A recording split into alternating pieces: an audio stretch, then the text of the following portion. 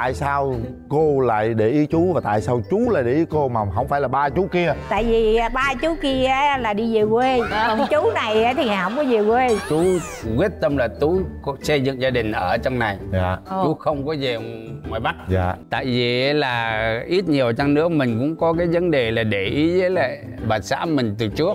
Rồi lúc nào mới tiếp cận được cô nè? Tiếp cận trong điều kiện gì chú? Thí dụ như ông bà đi công việc hay là đi đám cưới đám chuyện gì của ờ, bà con ờ, gia đình đó. Dạ. Không có nhà. Rồi ở nhà còn có hai đứa thì coi cũng tì tê tì tê biết về sao? Cũng nói dài nói, nói vô một hai tiếng. Nghe chuyện này đã quá sao nhiều chuyện quá vậy. Cuốn cuốn. Sao chú lúc đó chắc mong ông bà già vợ tương lai điểm dỗ cưới nó ma hoài. Đúng rồi Quỳnh Linh nói chính xác. Cứ trông cho ông già bà già đi đám ma hay đám cưới đám dỗ đám này đám kia đi để vắng nhà. Có hai đứa nhà để cho vắng nhà chủ nhà mặc nuôi tôm rồi sau đó nhà cô có ai cản gì không chú hay là ai cũng đồng ý hết? Không có ai cản nhưng mà cái đám cưới hồi đó là bà ngoại là bà không tới á. Bà ngoại là bà không tới á ồ bà ngoại là bà không chịu ngay từ đầu á. Ồ. Tại sao vậy? bà nói ở xa quá bà nói không ở xa quá bà không gả chứ gì cả. Chỉ có bà ngoại là không chịu không chịu từ đầu luôn.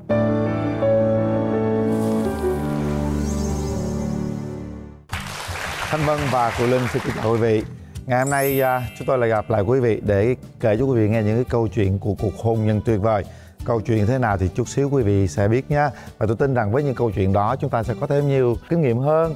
Để chúng ta làm sao bồi đắp cho cuộc hôn nhân của mình trở thành một cuộc, cuộc hôn nhân tuyệt vời Mỗi một tuần trôi qua thì Thanh Vân và anh Quyền Linh lại được trò chuyện cùng với các cô chú và được lắng nghe những câu chuyện tình rất là đẹp, rất là thơ mộng. Nhưng mà những cái mối tình của ngày xưa thì dường như là có nhiều khó khăn, nhiều vất vả hơn bây giờ rất nhiều đúng không ạ?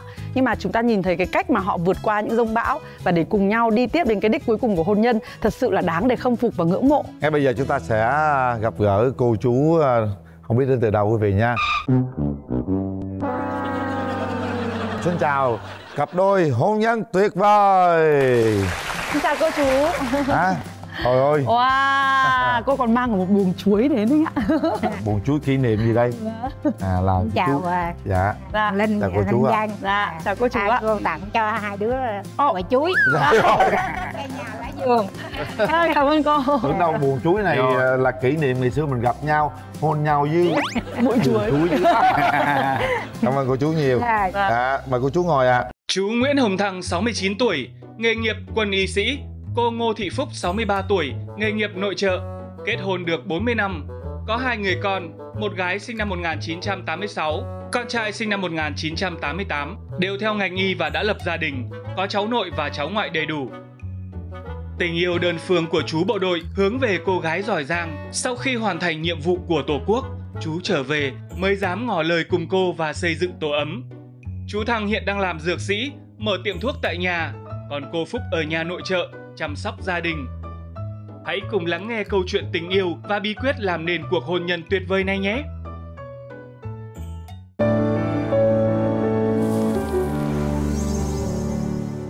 Siro bổ phế Nam Hà chỉ khá lộ không đường thích hợp cho người kiên đường, thương hiệu quốc gia Việt Nam. Chào đón cô chú đến với hôn nhân tuyệt vời à, Xin mời chú giới thiệu về mình ạ chú tên là Nguyễn Hồng Thăng sinh năm 1955 ở Phú Thọ. Dạ, Phú Thọ. Đất Đền Hùng. Dạ.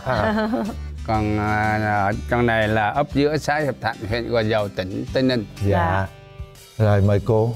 À, cô Ngô Thị Phúc ở, ở ấp giữa xã Hiệp Thạnh Gò Dầu Tây Ninh Làm sao mà chú ở Phú Thọ lại gặp được cô ở tận Tây Ninh ạ? chú đi bộ đội chú đóng quân ở nhà cô á À, à Ngày xưa chú đi bộ đội à, năm mấy tuổi chú? cái năm 76 77 á, là đi biên giới trên đường đi thì coi như có đóng quân ở tại quê bà xã giờ dạ. cái nhiệm vụ của chú là đơn vị công binh mở đường thắng lợi chủ yếu là khi mà có xe tăng các thứ mà qua sông dòng cỏ thì cái nhiệm vụ của đơn vị chú là bắt phá chở từng chiếc xe tăng qua khỏi bên kia bờ sông dòng cỏ. Chở từng chiếc xe tăng qua khỏi bên kia bờ sông dòng cỏ.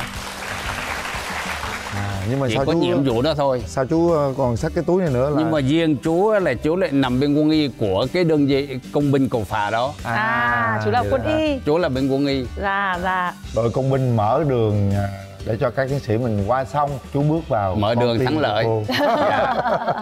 coi như là chú làm quân y cho cái đơn vị công binh cầu phà. Dạ. Trước đó thì ở phú thọ là năm đó chú bao nhiêu tuổi ta? 18 tuổi là bắt đầu đi bộ đội. Vậy thì ở phú thọ chú có mối tình đầu nào chưa? Chưa tại vì hồi đó còn đang đi học mà. Dạ. À. Vừa hết lớp 7 là bắt đầu ờ, theo tiếng gọi của đảng và chính phủ là chú lên đường nhập ngũ. Dạ. Rồi còn cô trước đó gặp chú thì cô có mối tình đầu nào chưa? Chưa chưa luôn. Không chú lợn là cô mới có mười mấy tuổi mà. Chú là đóng quân ở đó. À, dạ. À, đóng quân gần nhà cô không? Ở tại nhà luôn. Ở Wow. tại vì bộ đội lúc đó là đi vô nhà dân ở á. Dạ. À, là chú cứ- ở nhà cô luôn. Ở nhà cô ôi thế là chú đến nhà cô ở và ở đến giờ luôn. Không ở đó cũng như là, là bộ đội là đóng quân thôi. Đóng nhưng mà nhiều À. chú ở đó chứ không phải Vâng. chú. Đúng đúng. Cái năm mà đi biên giới á dạ. là đơn vị là vào nhà dân ở hết. Dạ. cứ mỗi một nhà dân là phải cho hai ba chú bộ đội ở trong cái nhà đó. Dạ. Ở ở nhà cô thì có mấy ở chú bộ đội trong nhà đó nhà Chú cô giai là, nữa. là bốn chú. Bốn chú. Wow. bốn chú. Tại sao cô lại để ý chú và tại sao chú lại để ý cô mà không phải là ba chú kia? Tại vì ba chú kia á là đi về quê. Tại vì ba chú kia á là đi về quê. Còn chú này á thì không có về quê. Về quê cũng thất bại quá ha. tại chú quê chú xa quá. Ừ chú không về chú ở đây luôn. Chứ nếu, chứ nếu mà thử chú quê đâu vòng vòng ở tây ninh đi chắc chú đi về quê chắc không gặp được cô luôn. Chú á, sau khi mà hoàn thành nhiệm vụ ở campuchia cho về phùng viên thì chú quyết tâm là chú xây dựng gia đình ở trong này. Dạ. Chú không có về ngoài bắc. Dạ. Dạ. Nhưng mà tại chú- sao thế ạ? Tại vì là ít nhiều chăng nữa mình cũng có cái vấn đề là để ý với lại bà xã mình từ trước. À. Nhưng mà nó kẹt có có một cái là hồi đó đơn vị đóng quân ở đó là cái phong tục hồi đó thì cứ kêu bằng chú bộ đội xưng cháu cứ kêu bằng chú bộ đội xưng cháu. À, chứ không phải là như bây giờ là xưng anh với em cho nên là không có tán tỉnh không có nói hứa hẹn không có gì được. Rồi bây giờ chú cháu mà đâu là có nói cái gì được. Đúng rồi, nói giờ- ra cái nó ngại rồi. Nhưng mà Bây giờ- chú thật ra là chú hơn cháu có mấy tuổi thôi đúng không à chú lớn hơn cô 5 tuổi. Ạ à có hơn có tuổi. 5 tuổi mà vậy vẫn mà phải xưng chú cháu. gì đâu? Tại vì chú bộ đội tại vì chú bộ đội. Tại vì là cứ theo cái quan niệm kêu là chú bộ đội nó. Rồi bây giờ mình trở lại cái ngày đầu tiên chú vô nhà nè. Lúc ờ, là cháu mấy tuổi nha? Cô 17 tuổi. 17 là biết yêu rồi chú đó 22 trời ơi tuổi đẹp quá. lúc tuổi rất đẹp rồi tuổi 17 bẻ gãy sừng trâu đó. Nhưng mà không có yêu. Lúc có thấy chú đẹp trai không thì đẹp thì có đẹp nhưng mà lúc đó là chú bộ đội thôi chứ không có yêu. Nhưng trong bốn chú đó có tình cảm với chú nào có thấy? À không ai cũng vậy. Hết nhưng mà giờ chú ở trong nhà cô thì ờ, cô có ngại ngùng gì không? Bình thường tại vì cho bộ đội ở nhà trên còn Nhà trên. mình mình ở nhà dưới. Rồi chú cứ đi ngang có liếc Liếc, liếc. cô em 17 tuổi này không nói chung á là ở trong quân đội thì nó là cái kỷ luật sắt cho nên không phải là giống như cái môi trường ở bên ngoài. Dù mình có để ý hay có muốn thương thật tình đối với cái người đó mình cũng không dám. Không dám luôn. Tại vì cái đó là cái quy định trong quân đội. Mình đang đi làm trong nhiệm vụ. Và thứ hai nữa mình còn là một quân nhân đang trong hàng ngũ. Cho nên cái chuyện đó nếu mà mấy thủ trưởng mấy người mà lãnh đạo nó mà biết được mình là phải kỷ luật. Ồ. cho nên là không dám. Ồ. không có dám gì hết luôn. Không có dám gì hết. Coi Dạ. như thương nhau chỉ là trên ánh mắt nụ cười thôi. Chứ còn dứt khoát là không có nói cái gì được không có hỏi hẹn hay là không có rủ nhau đi đây đi đó hay là đi đâu là dứt khoát nhưng mà là chú ở có. nhà cô mấy năm? Hai năm á. Ở hai năm. Hai năm. Sau đó bắt đầu từ từ là theo cái nhiệm vụ của cấp trên thì cứ bắt đầu đi tới đi tới dạ rồi ở hai Rồi năm. đầu đi qua campuchia luôn. Chú có để ý ấn tượng cô gì không? Chỉ có ấn tượng là hồi đó ông già bà già là sanh được 9 người con. Trong khi đó là 6 anh em trai ba chị em gái. Mà cái cuộc sống kinh tế mấy cái năm đó là Quỳnh Linh biết là rất là vất vả dạ. khổ cực. Hồi đó là còn phải chia sẻ ăn chung bánh mì với lại bo bo với bộ đội nữa mà. Dạ. Dạ. đó. Thì nhà cô chín người anh em em anh em wow. Một bữa mấy? cơm ăn là hai bàn Wow. bữa nào cũng vậy phải dọn ra hai bàn cô thứ mấy cô? Cô thứ tư. Tại vì chín với lại hai là ông bà là 11 Dạ. thêm chú nữa là 12 đó. Còn ba chú kia nữa. giờ có bữa bữa là ba chú kia đã lấy cơm về ăn luôn đó thì thầy thấy là hai mâm mà đủ gì rồi. Có bao giờ chú chú này cho cô tặng cô cái gì không? Không. Không tặng gì hết. Có ăn cơm có gấp đồ cho cô không? Ơi, bà xã hồi đó rất giỏi. Giỏi một cái là bà xã lo việc nhà lo đi bán lấy tiền để mua đồ ăn rồi chạy gạo về cho toàn bộ gia đình. Tại vì lúc đó là ông già bà già là lớn tuổi rồi. Phần cái thứ hai nữa là bà xã lúc đó lại còn đi bán nhân sâm nữa. Nhân sâm. à, nhân sâm- sâm mình giò nhân sâm mà mình giò nó à, đặt lại lá sâm chứ không À, rồi sâm Sâm không phải kia là khác nha. Không phải là, còn là, lá sâm là nước sâm sâm xuân sa đúng không? Nước sâm là À. khác. Ủa, đó. thời đó đi bán nhân sâm mà chứ. Bán xương sâm rồi cái trưa nào là cô cũng làm cho một ly. Mát ruột. Trả tiền thì không lấy. Cứ ăn giết nhiều đó uống giết nhiều đó mà thành ra là đem phải cái lòng luôn. Phải lòng thôi cô chứ gái bán xương sâm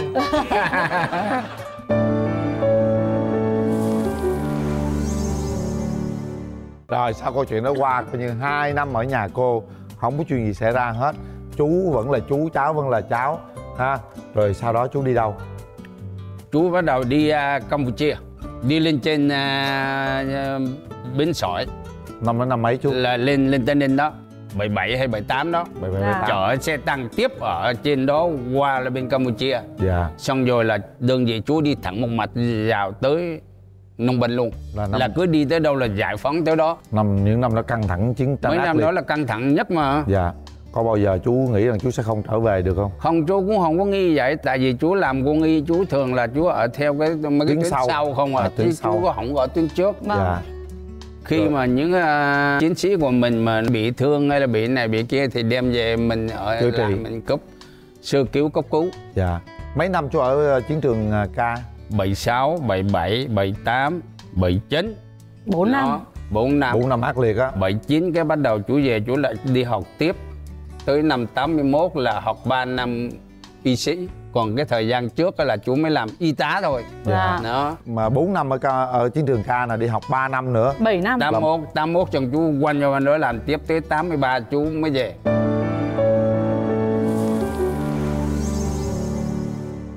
vậy là ờ, gần chục năm. 9 năm một tháng. Rồi năm. sao mà ờ, duyên nợ sao mà quay về nhà cô ờ, ấp giữa? Tại Về vì giữa ở luôn. về ấp giữa ở luôn. Đó đó. Tại sao lại về ấp giữa luôn á? 83 chú quanh về. Rồi sao quanh về đó? Khi mà về Phục Viên là chú ở đó. Tại vì chú biết chú quyết tâm là chú sẽ kết hôn với bà xã. Thôi được coi. Thôi được coi nhưng mà bao nhiêu năm như thế nhỡ? Ở nhà cô có người khác thì nếu trường hợp mà khi mà chú về mà nếu cô có gia đình thì thôi. À. tại vì hai người mình đâu có hứa Có hẹn gì đâu. vâng. không có có hứa hẹn. gì hết trơn á. Chỉ có thương nhau là nghĩ để ý trên trên trên con cái ánh mắt nụ cười thôi. Chứ còn dứt khoát là không có hẹn hò nhau hay là hoàn thành nhiệm vụ anh trở về anh sẽ cưới em làm vợ. Cái đó là không nói gì hết. Không nói vậy nhưng mà 9 năm đó, đó chú bôn ba từ ờ, lúc mà chiến tranh cho tới đi học chú có nhìn một cái liên lạc gì với cô không? Có gửi thư không ạ? Trong đó là đâu có liên lạc cái gì được. Ồ. mấy năm đó là nó đâu có cái điện thoại như bây giờ đâu mà điện thoại mà mà mà nhắn tức là tin trong đầu chú gì. nghĩ vậy thôi chứ. Trong đầu chỉ có nghĩ vậy thôi. Trời. Rồi lâu lâu nói thí dụ như anh em ở đơn vị về tiền phương lấy cái này lấy cái kia lấy cái nọ đem qua bên đó thì mình nhắn một hai câu thôi. À. nhắn, nhắn cho bà xã một hai câu nói anh ở bên đó vẫn khỏe em ở nhà cứ yên tâm Ủa, nuôi cha mẹ. như là bồ bịch vậy? Chú có quen biết người ta nhắn như bồ bịch vậy. Không phải là nhắn nhưng mà nói tóm lại là có nghĩa là viết một hai câu trong một cái lá thư đó. À. Đó, rồi đưa rồi bây giờ ngược lại cô nè. Hai năm của chú ở nhà cô khi chú đi cô có một chút gì sao xuyến hay gì không? Không. Không luôn. Cô bình thường không có nghĩ gì hết.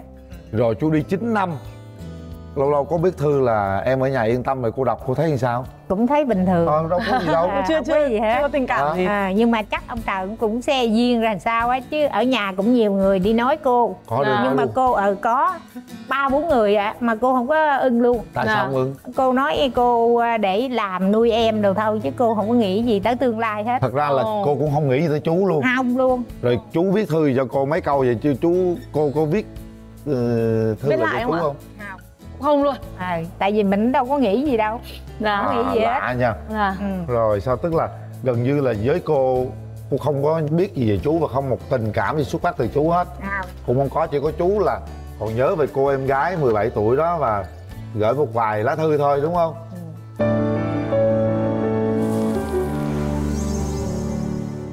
Đây là một bức thư à, từ Phnom Penh là một lá thư từ quá khứ đấy ạ mà người chiến sĩ năm ấy đã gửi cho cô gái. à Tức là đây là một bức thư mà ở thời điểm đó chú đã không gửi được cho cô. à Nhưng mà bây giờ nó lại đang ở trong tay của chúng ta anh ạ. Vậy Thì đó mình hả? có nên đọc cho cô nghe không anh? sao em hay quá vậy quá khứ mà em có trong tay luôn hả Nào anh nhìn này nét chữ của chú À. vẫn còn tươi màu mực đây. rồi Đây bây giờ à, xin phép à, cô đọc để để cô cảm nhận được là cảm xúc của chú ở thời điểm đó. Anh của em, Nguyễn Hồng Thăng, thủ đô Phnom Penh ngày 20 tháng 6 năm 1978. Em yêu mến của anh. Từ khi anh chuyển đi bên ấy, cuộc sống sinh hoạt khác xa hoàn toàn so với bên nhà em. Hôm nay, anh tranh thủ cầm bút ghi gửi vài dòng về thăm em và gia đình. Lời đầu tiên cho anh hỏi thăm chúc sức khỏe đến cha mẹ và toàn thể gia đình. Luôn được mạnh khỏe là anh mừng. Còn anh thì từ khi sang Campuchia đến nay, anh vẫn khỏe, cuộc sống sinh hoạt bình thường. Còn buồn nhớ em là lẽ tất nhiên. Em à, em hãy thông cảm cho đời lính. Vì nhiệm vụ trước khi đi không thể nói cho em và gia đình biết vì nhiệm vụ bí mật quân sự nên em hãy thông cảm. Hẹn mai mốt hoàn thành nhiệm vụ trở về. Khi đó, anh và em sẽ hiểu nhau hơn nhé. Thôi, sắp tới giờ đi gác. Anh tạm dừng bút tại đây. Chúc em luôn vui khỏe, phục vụ gia đình chu đáo là anh mừng. Và qua em cho anh gửi lời hỏi thăm và chúc sức khỏe tới cha mẹ, các anh và hai em nhé. Hẹn em ngày gặp lại. Anh yêu Nguyễn Hồng Thăng. giờ mới có xúc động á hồi kia thì tại mình không có nghĩ nên không có xúc động bây giờ mới xúc động á lúc mà chú viết thơ về cô đọc thì lúc đó cũng bình thường tại vì cô đâu có nghĩ gì. Mà cô đọc cô thấy vui hay là thấy buồn không có gì luôn hả? Nói chung là không thấy gì hết tại vì cô đâu có nghĩ gì đâu. À, nghĩ chú bộ đội thôi. Ừ, thì, Không. à, tại vì ổng để ý cô cô đâu có biết. Không có một kỷ niệm gì của chú luôn hả? Không. Chú đi chú cũng không có tặng một cái gì luôn. Không. Không có cái gì làm tin. bởi vậy bây giờ cứ tặng cho hai đứa nên cái này nó mới xúc động nè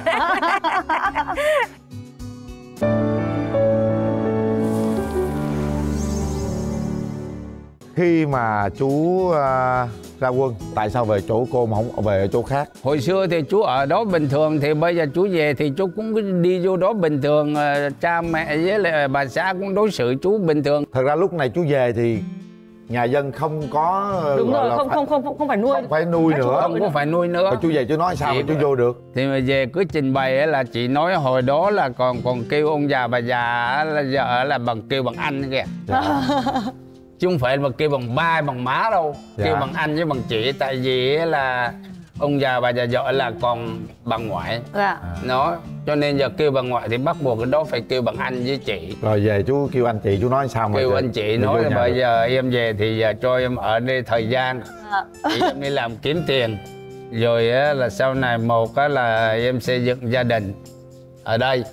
Hai nữa là em về về quê thì ông già bà già thì cũng không nói gì nói thì bây giờ về thì giờ cứ ở đây đi rồi tìm công ty việc làm mà có tiền tiêu xài ông già bà già thì Tốt quá chỉ hả? nói đơn giản vậy thôi Ờ. mà chú tại cũng- vì hồi đó là bộ đội đóng quân hồi đó là rất là có một cái tình cảm giữa quân và dân không À. có một cái gì gọi là mà để để ghen ghét hay là để xích mích hay là để những cái gì mà để coi như là nó có một cái ấn tượng gì coi như không tốt. Đó cho nên là tình quân dân rất là thương mến với nhau y như là cá dưới nước vậy đó. Dạ. nhưng thật ra là à, chú cũng không có nơi nào để về hết. Chú chỉ có nơi duy nhất là ở ấp giữa thôi đúng không chú? Đâu Phú tại vì thì chú- không là- có bà con không có ai quen thuộc hết trơn á. Đúng rồi duy nhất lúc đó là chỉ có có một mình chú thôi. Dạ. Thế còn Thọ là anh em bà con dòng họ là ở hết Bắc quê chứ đâu đâu có Đúng ai rồi. ở chỗ này. À, chỉ có một mình chú đi bộ đội rồi sau khi mà chú hoàn thành nhiệm vụ ở Campuchia chú về đó là tất nhiên là chỉ có mình chú thôi. Dạ. Vâng, vâng. rồi à, ông bà nhà cô đồng ý luôn. Đồng ý luôn. Đồng Rồi. ý cho ở. Rồi có cấp phòng gì ở gần đó hay là muốn ở đâu ở? Không thì cũng có cái giường hồi đó kêu là cái cái giường tre đó thì cũng nằm ngủ ở dưới nhà dưới. Tại vì cái À. phong tục ở trong này hồi đó là cái người lạ là ta không có cho ngủ nhà trên. À, phải nằm ở nhà dưới ngủ. Bằng Đó. thờ còn lên được chỉ nhà trên nhà dưới. Cô cảm giác sao? Lúc cảm xúc cô sau khi chú xuất hiện về? Cũng bình thường.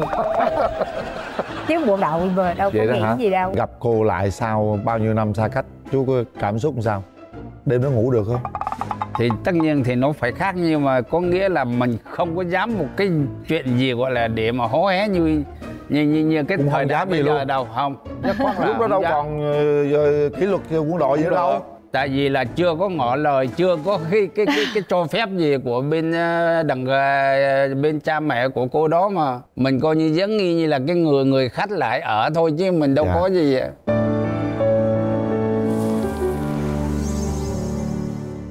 rồi làm sao chú bắt đầu từ đâu để tỏ tình với cô hay là nói với gia đình? Tỏ tình là có nghĩa là sau khi mà về đó đi làm ờ, kiếm tiền rồi ờ, dành dụm con góp mình có được một số tiền. Vâng. Hồi đó về thì lính á là không có tiền nghèo. Coi như là phải đi làm hồ nè rồi phải đi giá xe đạp đi bơm xe đạp nè. Rồi phải đi sơn cửa sơn phết. Rồi phải đi làm cái nghề họa sĩ này. Hồi đó là chú làm cái nghề họa sĩ. Ăn rồi tối ngày chú cứ ngồi trên bàn thờ người ta không? Tối ngày chú cứ ngồi trên bàn thờ người ta không? Ông bàn thờ chi vẽ quan thờ là biết mình á. biết gì cũng vẽ những cái tấm liễn mà để, để ta ta thờ ông bà cha mẹ À. quá cố mà mà mà trên cái bàn thờ đó. Dạ dạ mà vẽ cái đó thì tất nhiên là quyền linh phải ngồi trên cái bàn thờ. Chú làm nghề gì mà lạ vậy? À, lạ đời vậy đó. Lúc nào cũng ngồi trên bàn thờ nhà ta sáng sớm mình. sáng sớm đến cái thì bắt đầu á, lên bàn thờ ngồi cho tới chiều. Sáng sớm đến cái thì bắt đầu á, lên bàn thờ ngồi cho tới chiều. Ngồi có một mình thôi. Nước nôi muốn cái gì thì kêu chủ nhà người ta đem lại bữa nào người ta cũng lên bàn thờ đưa nước cho chú. Ăn chú cũng ăn trên bàn thờ uống cũng trên bàn thờ. Trời lạ cái nghề lạ thiệt. Mà cái nghề đó đâu ra mà lạ vậy chú? Thì tại vì hồi đó là chú à, làm họa sĩ là chú lại vẽ cái đó nó rất là đẹp. Mà sao chú làm họa sĩ mà chú vẽ trên bàn thờ không vậy? Không tại có cách. vì cái tranh của ta cái liễn cái liễn thờ liễn của người ta ở trên bàn thờ là bắt buộc phải vẽ cái đó. Ủa nhưng mà đó chú không học vẽ chim sáo rồi. Con này con kia đẹp hình vẽ cái đó thì nó lại không có ăn à, khách bằng à, vẽ cái cái cái tấm liễn thì mai chú dạy con chỉ cái tại vì hồi đó cái thờ. kiếm á là nó chưa có nhiều như bây giờ. Cho nên nhà nào mà muốn á là phải vẽ trực tiếp vô à bức rồi. Dạ, bây giờ con phải nghĩ con phải biết được cái nghề là lúc nào cũng ngồi trên bàn thờ. Ngồi trên bàn thờ vẽ. Bàn thờ lắm á. Không có giỡn đâu nha thì bắt đầu á là mình mới nhờ cậy nhờ cậy hồi đó là ở là cái cái ấp giữa đó là ở ha- hai cái gia đình. Cái gia đình thứ nhất là ở cái ông đó một thời gian trước sau đó mới chuyển về xuống dưới này là ở Nhà nhà, cô. ông già vợ đó rồi sau khi mà bắt đầu mình có cái điều kiện ý là mình muốn cưới con gái của người ta mình mới nhờ cái ông à cái ông ở đầu, tiên. dạ. Nhờ cái ông bao đó. lâu thì chú nhờ ông đầu tiên 83 mà 84 là coi như hơn một năm. Hơn một năm. Tại vì đi làm á là hồi đó là hơn một năm là mới mới mới mới, mới, mới có tiền được. chú có khoảng nhiêu tiền mà chú gan vậy? Tại vì chú hồi đó chú làm chú rất là hà tiện. Dạ. Mà cái thời đại đó nó cũng phải cho phép là phải hà tiện thôi. Dạ. chú nhớ là vàng chắc đâu cũng được dài ba chỉ dài ba chỉ hả? Hồi đó là có tiền là là mua vàng à, cất không chứ còn à, ngoài ra không có mua gì hết. Dạ. Thì coi như cứ ba tuần lễ hai hai tuần lễ là chú cầm tiền lại tiền vàng chú mua một chỉ. Dạ. trời ơi. Rồi cái chú gom gom gom gom lại viết còn chú đi làm hộ là một tháng chú mới lấy tiền một lần. Dạ. Chứ không bao giờ mà chú lấy à, tiền trước. Vậy là coi như lặng lẽ gọi là Tích góp. thu mình tích Dạ. góp mà cũng chưa có tỏ tình gì với cô hết chưa chưa Ồ. có một cái tỏ tình gì hết. Rồi khi đủ là có mấy là vàng rồi mới nhờ ông kia? Mới nhờ ông kia. Ông kia hôm qua ông nói sao chú? Thì cái đó ông mới nói với ông già vợ gì đó thì chú cũng không có biết. Chú qua chú nhờ sao? Chú qua chú nhờ sao? Thì chú cũng nhờ cho nó là ý bây giờ chú muốn tỏ tình muốn muốn cưới à, cô đó làm vợ thì bây giờ chú thì chú còn nhỏ chú không có dám à, trực tiếp ngồi nói chuyện, với ta thì giờ cũng nhờ ông ông lại ông nhờ cậy ông hỏi thì nhà ta coi xem ông mới có chịu không? Dạ. Thì ông mới đi hỏi về cái tối ông mới cho hai ông nói thì giờ ta chịu tối ông mới cho hai ông nói thì giờ ta chịu trời ơi ta chịu rồi đó hả? Lúc đó thấy người sao chú? Quá là phấn khởi vậy. Nhưng lúc đó là cô đã có tình cảm với chú chưa? Chưa. Vẫn chưa luôn chưa có lúc có chưa có gì gì hết. hết. Coi như là cái rồi ngược lại nè. Lúc mà cái ông kia ông qua ông nhờ ông nói giùm cho chú á thì gia đình có nói gì với cô gì không? Thì bà già có nói nhưng mà cũng không có nghĩ gì nữa. Bà già nói giờ- sao? thì nói ở giờ nó ở đây giờ nó nói nó thương con á. Rồi giờ con tính sao? Nói con không có thương con không có thương ờ. À nhưng mà thời gian là thấy ổng cứ ổng ở ngoài đó rồi riết từ từ thì cũng có tình cảm. Bao lâu thì cô mới nghĩ tới điều đó? Thời gian giờ đâu có nhớ lâu rồi Không mấy có chục năm rồi sao nhớ được? Không bao lâu chú một năm á một năm trở lại. Lúc lúc mà chú nói ông kia ông kia về gọi là nói bên kia chịu thì chú mừng rồi. Nhưng mà về chú có dám nói chuyện với cô không không thì cũng nói bình thường thôi nhưng mà nói về cái chuyện tình cảm à, riêng tư là Không nói. không nói được. Tức là giấu luôn. Giấu luôn. Trời ơi còn vậy nói thì cái chuyện là hàng ngày ăn uống ngồi chung trên bàn thì cũng cứ nói qua Cũng nói bình lại, thường nói thôi. bình thường thôi. Nhưng lúc đó có định ông bà về vợ không mà không có nói với cô rồi đó nhưng mà có nói với ông bà già vợ không? Tại vì mình đã nhờ ông kia nói rồi mà. Cũng hỏng là có có dám định. Nhưng mà về á cái thái độ của ông bà già vợ tương lai có nói gì chú không? Hay có là cái cách chăm sóc chú hay là nói chuyện chú có khác không? Ý ông già bà già hồi đó ông già già- ờ, bà già thì cứ nói thì thôi giờ bây giờ mày thương á thì gả cho chứ giờ nhưng mà với điều kiện giờ phải đi về ngoài kêu ông già bà già vô. À. Nó mà cái điều kiện hồi đó là cái chuyện mà đi đây ờ, đi từ trong này mà về ngoài bắc là cả một cái vấn đề rồi. Là xe cộ hồi đó đi là phải có giấy giới thiệu phải có ấy chứ đâu có phải hôm mà tự nhiên có tiền cái bỏ cho mua vé bay ồ cái về tới ở ngoài à, Hà Nội được đâu Vâng. mấy cái năm đó là khó lắm mua vé tàu xe khó lắm. Bây giờ mới có kỷ niệm đã coi như là cô không có biết gì yêu đương gì luôn á. Không biết gì hết. Cô lúc đó là chỉ có chủ yếu công việc là phục vụ gia đình em. Dạ. Tại vì chính anh em, em. Vậy thì Trời coi như là em.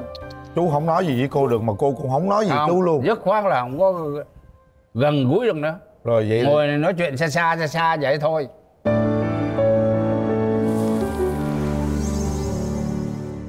Vậy rồi, rồi, rồi, rồi lúc nào mới tiếp cận được cô nè? Thì thời gian thời gian ở chung đó rồi à, bao lâu? Một năm mấy đó. Tiếp cận trong điều kiện gì chú? Thí dụ như ông bà đi công việc hay là đi đám cưới đám chuyện gì của ờ, bà con ờ, gia đình đó. Dạ. không có nhà. Rồi ở nhà còn có hai đứa thì coi cũng tì tê tì tê tè sao? Cũng nói dài nói, nói sao? vô một hai tiếng. Tỷ tè sao chú? Cô đâu có biết yêu đương gì đâu. Nghe chuyện này đã quá sao nhiều chuyện quá vậy. Cuốn cuốn. Sao chú? Lúc đó chắc mong ông bà già vợ tương lai điểm dỗ cưới nó ma hoài. Đúng rồi Quỳnh Linh nói chính xác cứ trông cho ông già bà già đi đám ma hay đám cưới đám dỗ đám này đám kia đi để vắng nhà. Có hai đứa nhà để cho vắng nhà chủ nhà mặc đuôi tôm. Tới lúc nào chú nắm tay được? Dài ba tháng. Bữa đó sao mà ổng không được ờ, cô vậy cô? Thì cũng có tình cảm rồi rồi mới quen nhau mới cưới nhau được chứ không có tình cảm sao cưới được? Nhưng cái bữa- đầu tiên mà nắm tay hôn đó là bữa nào vậy chú? Sao nhớ được? Mấy mươi năm rồi đâu có này nhớ ba được. ba bốn mấy năm mà còn gì nữa. không nhớ hả? Không nhớ đâu. vậy cái bữa đó không ấn tượng lắm á. Chắc hung phớt qua thôi.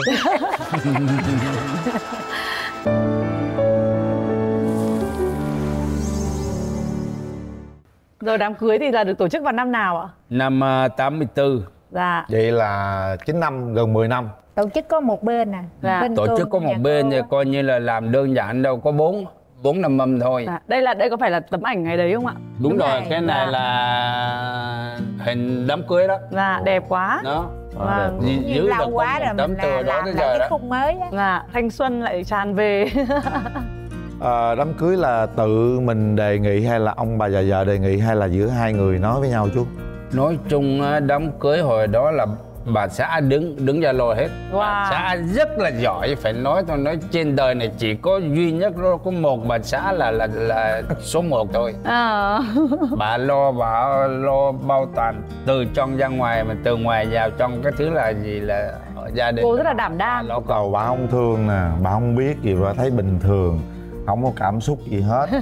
Nhưng khi đã yêu rồi lo lo hết. tại vì chú hồi đó là, già, là chú chú đưa về thì chú cô. à có mấy chữ già. Thôi rồi cô mới lo được chứ. Chú Ai? nói là chú mua vàng này cứ chú nhờ cắt. À. chứ ờ, chú đi làm vàng chú để đâu? Ủa sao mà tin tưởng tới mức gì kiểu gì thì chắc ít nhiều cũng phải tin tưởng nên mới mới mới dám trao vàng chứ. Nhưng mà gia đình chú có ngoài bắc có vào không? Không không. Chỉ có một ông anh là bà con à, bệnh gì ở dưới à, quận 7 ở dưới thành phố. Lúc đó cũng có nhờ cậy là ông lên ông đứng ra nói. Dạ. rồi ông đại diện. Không biết một cái lý do gì hồi đó là cái đám ngày đám cưới ở trên này cứ trong hoài nhưng mà cuối cùng là ông lại nhắm mặt. Ông Ồ. không lên. Không lên luôn cuối cùng đó là chú phải chạy đi lại kêu nhờ cái cái ông mà chú nói cái cái cái ông ờ, đầu Ông tiên đầu tiên á, nhà đầu tiên ông- ông đó là ông hồi đó ông cũng rất là nhiệt tình mà ông ấy thương chú dữ lắm. Rồi ông ấy đứng ra cũng như ông làm chủ hôn vậy đó. Dạ. Ông ấy đứng lên ông nói rồi ông đại diện rồi ông ấy chứng kiến.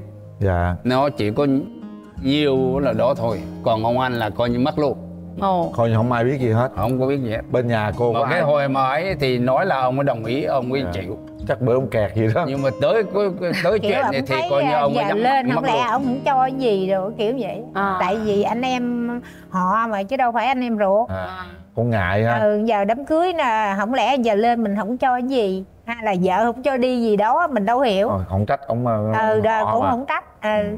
Rồi sau đó nhà cô có ai cản gì không chú hay là ai cũng đồng ý hết? Nói chung là không có ai cả không có ai cản nhưng mà cái đám cưới hồi đó là bà ngoại là bà không tới á. Bà ngoại là bà không tới á.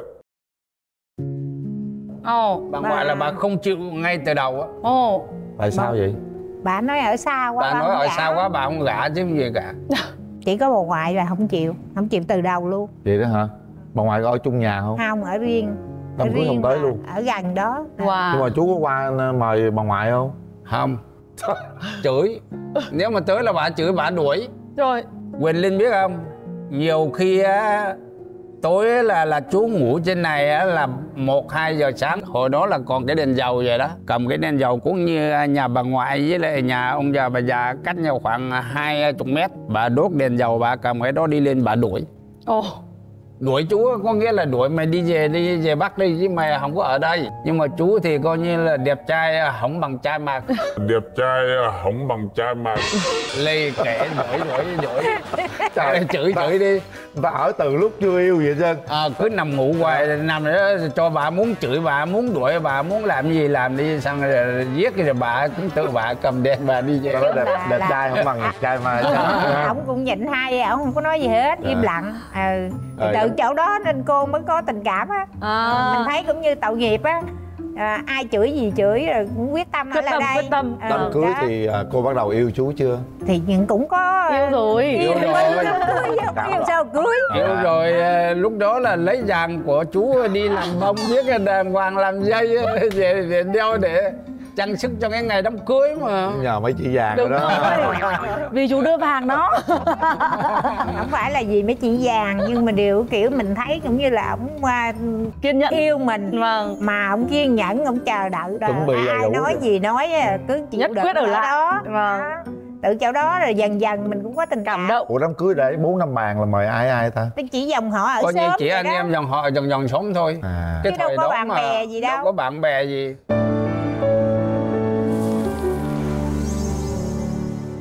rồi sau đám cưới dân ở nhà cô? Bất dễ luôn. Rồi sao ngoại sau cho đó miếng một đất thời gian cái nhà à, bà ngoại mới cho miếng đất. Má Vâng. cô cho. Vâng. à tức là má cô cho tưởng đâu bà Mẹ ngoại mẹ vợ. mẹ Mẹ vợ là cho. bà bà ngoại cấm quá mà mẹ giờ. vợ cho một miếng đất. Dạ. rồi hai vợ chồng tự làm à, lấy cuốc xẻng đi lên đắp nền nhà. Xong rồi bắt đầu mua chanh mua lá rồi dựng lên thành cái tròi. Xong rồi nhờ người ta lại tiết chất đất ở. Dạ. nó nó là hình, th- hình thức như vậy. Đám cưới xong mình à, có con liền không chú? Năm sau. Là gì? Là sanh đứa con gái là năm tám sáu. Ủa sao mình trễ vậy chú? Đáng lẽ là cưới xong có con liền thì cũng tính là kế hoạch từ từ để còn đi làm mà kia để cho Kiếm có thêm cái điều kiện kiếm thêm tiền. Xong rồi tới năm 88 là đẻ thêm một, một à, anh chàng nữa cái là là hai đứa. Xong Là- rồi là kế hoạch. Ba năm đôi. Ừ. như đám Vâng. cưới xong rồi thì mình ở nhà riêng rồi mình có gặp khó khăn gì? Thì cũng khó khăn á thương bà à, bà vợ nhất là hồi đó là đi cắt lúa mướn. Tại vì hai vợ chồng hồi đó đi cắt lúa mướn này, đi cấy lúa mướn, đi nhổ mạ mướn. Bà xã lúc đó mang bầu mà đi cắt lúa mà sau bà xã nghỉ có 3 ngày là bà xã ở nhà xanh giống như một cái ờ, gọi trong nhà có đầy đủ ờ, ba mẹ lo hết. Giờ tự nhiên lấy chồng đi ra ngoài đó rồi tự đi cắt lúa mướn, giá cái bầu như vậy cô có thấy thấy cực khổ gì không cô? Thì cực thì có cực nhưng mà điều mình quyết tâm mà. Có có tuổi thân có khóc gì ngoài ruộng lúa gì không? Nói chung là cũng không có gì để khóc tại vì mình biết từ đầu rồi. Biết khổ rồi đó hả? Biết khổ rồi. Thì từ đó mình ráng cố gắng mình vươn lên. Chú vẫn đi mần hồ tiếp. Để đến lúc đó là bắt đầu ờ, bà xã ở nhà chú thì vẫn tiếp tục đi làm hồ. Dạ. Nhưng mà sáng đi sáng lấy cái xe đạp của ông già đạp đi làm rồi chiều phải đạp về. Dạ. Về để phục vụ cái cái cái cái bà xã đẻ này. Đâu có ở được. Còn Dạ. như mấy ờ, hồi đó thì có khi là ba bốn ngày có khi tuần lễ. Làm rồi bếp ở nhà người ta là mình không có về. Còn bây giờ là cứ phải sáng đi chiều về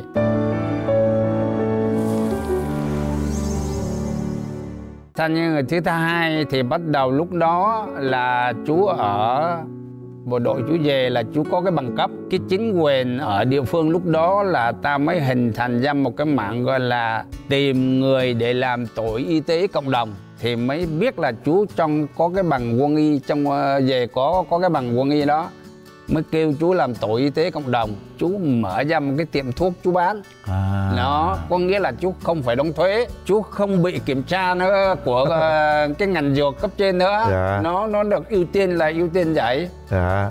Nhưng mà mình làm thì coi như ta không có trả lương.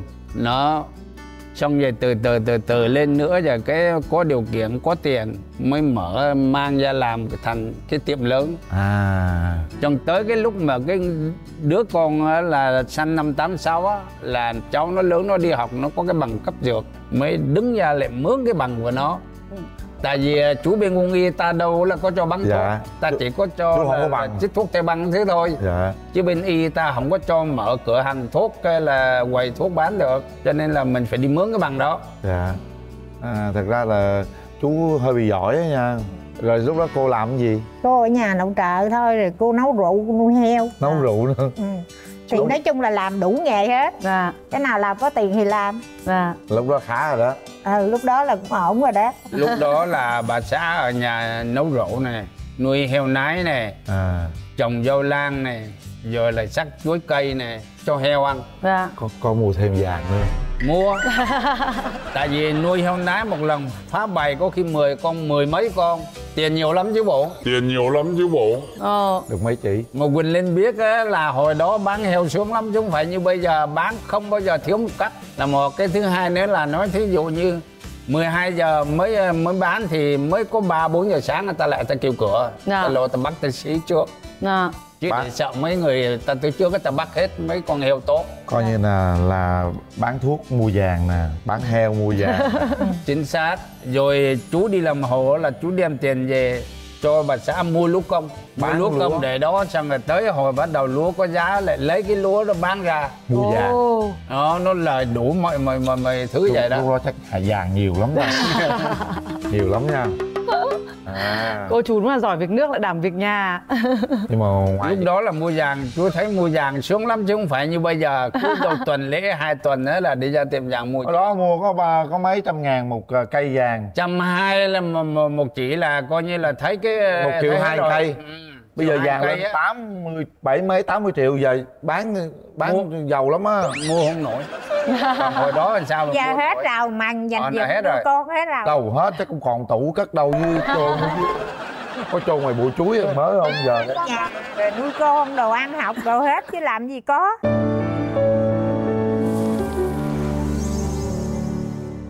ngoài cái việc đảm việc nước việc nhà này kia làm rồi cái việc chăm sóc vợ là chú chăm sóc tốt không? Số 1 luôn. Số 1 luôn. Nhìn cô là biết rồi.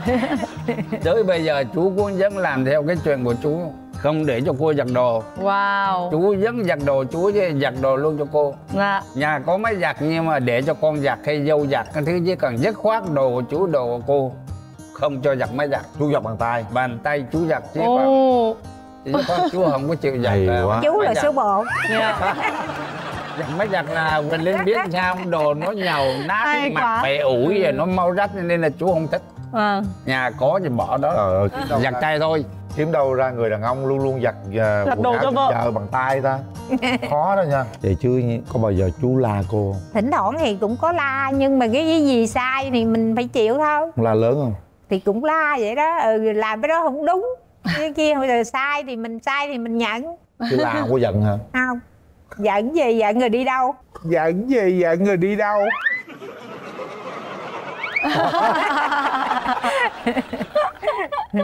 Thì cô có la chú không? Cũng có. Vì nhiều khi ông làm gì sai thì mình cũng la. La lớn không? Cũng la chú vậy được đó. cái chú không có uống rượu. Dạ không hút thuốc. Không uống cà phê. Lấy cái gì mà la? Mình có làm chặt cái gì đâu đúng la rồi. được. La sao mà la được? Ngồi giặt đồ cho em mà Ờ, sao mà này. la được? À, trời ơi. không có cái gì để mà la được. không thể la được đúng luôn á phải chi mà mình đi nhậu say xỉn hay là mình đi uống cà phê quá giờ về thì cái đó giờ mới nó có cái cái, cái, cái để la. Không cờ Ở bạc không, không đi đâu rượu chè Ở không không. trai gái rồi giặt đồ cho vợ bằng tay đó thì làm sao mà la đâu mà ra không biết nữa. Tại vì nói đúng ra là ở nhà là chú có một cái tiệm thuốc. Cái người bệnh mà ta lại ta mua là ta cứ tìm cái da chắn có nghĩa là lại là phải thấy chú ta mới mua. Dạ còn nếu mà có khi mà lại mà không thấy chú mà thấy thím là ý ta không mua ta nói để để chờ chú chờ cho chú về mua. Ồ. Coi như kinh nghiệm qua Ờ, đó là trường hợp như vậy. Dạ. cho nên đó là mình không có cái thời gian để mà đi uống cà phê ở quán tiệm hay là thời gian đi ăn nhậu hay là ấy với bạn bè không có. Còn sáng ra bạn bè ở cựu chiến binh đó thì lại dồn về nhà nhà chú uống uống nước trà à. Nó uống khoảng ngồi nói chuyện với nhau tình rồi nói về thời sự. Trong nước ngoài nước khoảng một tiếng đồng hồ sau đó thì giải tán. Nhà ai nấy về công việc ai nấy làm. Vậy có gì Sáng đâu. nào cũng vậy. Ờ, vậy có gì đâu Vậy phải la chú. đâu có gì mà phải la chú được. Không có gì để mà la được. Hai người con giờ đang làm gì người con mặc à, mặc áo trắng. Dạ. Còn đó là đen đó là À, trong ngoài gái đầu nè. Còn gái đầu là ngồi trên đó đó. À, dạ chắc là mời hai bạn lên đây. Nói quá. Đó. Hỏi gia đình lên á Xin chào hai bạn. Hôm nay thì à, nghe câu chuyện của ông bà thì à, đầu tiên là chị à, chị gái chị cả nè. Thì có cảm xúc như thế nào? Thiệt ra là cũng nghe ba mẹ kể về những cái câu chuyện hồi trước rất là nhiều rồi nhưng mà cũng có những câu chuyện mà lần đầu tiên đến với chương trình này em mới được nghe ba mẹ kể về. Đó là cái câu chuyện mà lúc nãy ba nói là đi làm cái nghề vẽ liễn ở trên bàn thờ. Đó là cũng lần đầu tiên em được nghe ba kể luôn. Thì em thấy rất là xúc động xúc động trước cái tấm lòng của cái sự ờ, hy sinh của ba mẹ rất là nhiều. Dạ. Ừ. rồi nói chung là cái nghề nghiệp mà hai chị em của em ngày hôm nay chọn á thì cũng là được xuất phát từ cái nghề của ba trước đây à, là tụi em cũng từ nhỏ không biết sao là trong lòng là chỉ muốn sau này chỉ làm theo cái nghề của ba mình thôi. Thì hiện tại thì em đang học ờ, cái lớp y 2019 của khoa y đại học quốc gia Ừ, Hồ Chí Minh. quá. Dạ con chào chú con Linh, chào chị Dân. Dạ con là tên ờ, Nguyễn Hồng Thanh. Là con ờ, thứ ba cũng là con út của gia đình. Con cũng đang công tác bên ngành y Chuyên môn của con là dược à, Hiện đang công tác tại huyện Bến Cầu của Tây Ninh ạ. Gia đình mình hạnh phúc quá đúng tuyệt là nghề vời. của bố luôn đó. Dạ bố có hướng uh, con không hay là tự con chọn vậy? Nói chung là chú có hướng nhất là nhỏ gái. Hồi đó nó thi chuẩn bị đậu là chuẩn bị đi thi là nó có hỏi trước. Nói sau này con đi thi nếu mà đậu con vào trường đại học thì ba mẹ con nuôi không hỏi ý kiến trước chứ không phải tự nhiên mà đi cái ờ, bắt cái cha mẹ phải nuôi không có. Cha mẹ thì có cha mẹ cũng nói thì giờ con cứ đi thi nếu đậu thì cha mẹ sẽ nuôi cho con học tới cùng luôn rồi bắt đầu cháu mới thi đậu rồi cho cháu đi học luôn. Ở nhà thì em sợ mẹ hay sợ bố? Dạ em sợ cả hai luôn. Bố nghiêm khắc thế nào mẹ nghiêm khắc thế nào? Bố thì nói chung là đúng là tác phong của một người lính ạ. Giờ rất rất là rõ ràng. Cái nào là giờ nào sinh hoạt việc gì là phải làm đúng như vậy thì mới được. Chứ là cũng không có tùy tiện và làm theo ý của mình. Dạ em là con trai á nhưng mà ờ, theo cái môi trường ờ, quân đội của bố á, là cứ tầm 9 giờ là phải có mặt tại nhà. Là bất di bất dịch luôn. Là từ lúc mà đi học cho đến ờ, lớn đến học cấp 3 luôn là cứ hả đúng 9 giờ là phải có mặt ở nhà. Rồi sao quen bồ được? Thì đó cho đến bởi vậy là đến năm hai 2021 là em mới có vợ được đó tại bố hồi xưa cua cua mẹ con á là bố cua tại nhà luôn thành ra bố không có giờ giấc gì. Dạ đúng rồi. Bố không có hiểu được là sau 9 giờ mới có cơ hội điều kiện thuận lợi để người ta gặp nhau. Hôm nay thì cái ờ, túi quân y này nó có nhắc nhở chú lại ký ức ờ, gì đó hồi xưa mà chú đem theo nó vậy? Hồi xưa là chú ở là trong bộ đội thì cũng cái túi này sách đi cấp cứu rồi là đi băng bó vết thương cho anh em chiến sĩ. Dạ. Còn bây giờ chú về địa phương á, thì chú cũng dùng cái túi này. Bất kể giờ nào nếu mà anh em bà con cần. cần thì kêu chú chú xách cái túi này chú đi. Vẫn những ờ, dụng cụ trong đó. dụng cụ đầy đủ hết. Dạ, dạ. Túi Ê. rất nhiều kỷ niệm. Cảm ơn cô chú rất nhiều về câu chuyện ngày hôm nay. Ngày hôm nay là ngày à, có thể chúng ta kể lại câu chuyện ký ức thanh xuân đã trở về. Chú muốn nói gì với cô sau bao nhiêu năm như vậy? Muốn nhắn nhủ gì hoặc là muốn à, cô thay đổi gì hay là muốn động viên à, chia sẻ gì với cô? có nghĩa là cái à, ý nguyện của chú á, là và mong muốn vợ chồng với lại con cái trong gia đình đối xử rồi là hành động thật tốt cho những cái thời gian mà còn lại ờ, gia đình hạnh phúc cho tới đầu bạc lăn rong Dạ, con mong cô chú có thật nhiều sức khỏe. Dạ. Còn bây giờ mình có sức khỏe là mình sẽ có thể dành được trọn vẹn thời gian còn lại bên nhau và vui hưởng tuổi già bên con cháu ạ. qua đây những chương trình này á, là muốn gửi tới ba mẹ là cái lời biết ơn rất là sâu sắc và cũng xin là sau này cũng sẽ tiếp tục ừm, neo theo cái tấm gương của ba mẹ để có thể phục vụ cho người dân ở trên địa bàn quê nhà của mình và có được một cái mái ấm gia đình thật hạnh phúc ạ.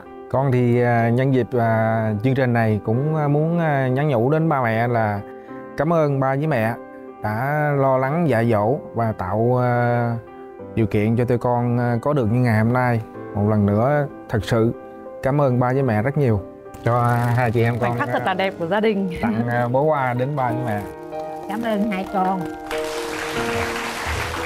Tuyệt Hôn vời. nhân tuyệt vời. Dạ. Mặc dù lúc đầu nó có khó khăn à, nhưng với quyết tâm chúng ta đã làm được tất cả mọi thứ và bây giờ đã đến lúc chúng ta à, cùng nắm tay nhau chúc cô chú luôn luôn mạnh khỏe và chúc gia đình đại gia đình chúng ta thật nhiều may mắn trong cuộc sống và chúc cho chúng ta sẽ luôn luôn hạnh phúc và bình an cảm ơn chương trình cảm ơn tất cả các bạn xem đài cảm Dạ. ơn Quỳnh Linh với lại à, ông Hạnh Dạ, cảm ơn chú Thắng. Dạ. À, quý vị vừa theo dõi một câu chuyện à, vừa lên cũng cảm giác nó lân lân làm sao ấy. Mỗi người đến cuộc hôn nhân đều khác nhau đủ, đầy đủ màu sắc. Và ngày hôm nay cuộc hôn nhân tuyệt vời này dành cho tất cả quý vị. Dạ. Và hôm nay em lại học thêm được một điều nữa ở chú Đấy là thành công nghĩa là không bỏ cuộc. Vâng và thưa quý vị chúng ta đừng quên giờ phát sóng của chương trình Hôn nhân tuyệt vời. Đó là 21 giờ 15 phút thứ bảy hàng tuần trên kênh truyền hình Quốc phòng Việt Nam. Thanh Vân, Quyền Linh xin chào tạm biệt. Hẹn gặp lại